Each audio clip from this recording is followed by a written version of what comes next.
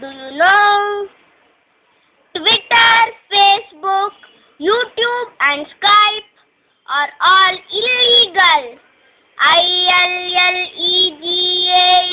illegal in China. C-H-I-N-A, China. Sad.